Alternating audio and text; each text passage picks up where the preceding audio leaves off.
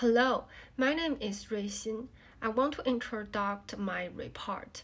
Actually, my report have a three story.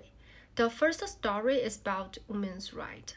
I choose women's right as my first story is about this right is a very important and popular in modern society. And my second story is about workers' right. I choose this right is because strikes are very common in the UK. So I'm very interested in UK the worker how to define their rights. And my last story is about the student right.